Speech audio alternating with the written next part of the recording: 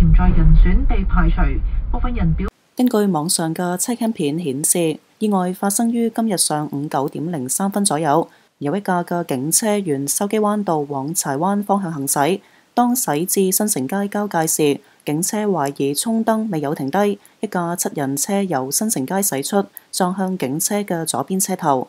意外後，七人車嘅車頭泵把被撞至脫落，車頭損毀。至於警車嘅左車頭沙板位置損毀。七人車嘅女司機同埋警車上嘅一名警員報稱受傷，需要由救護車送院治理。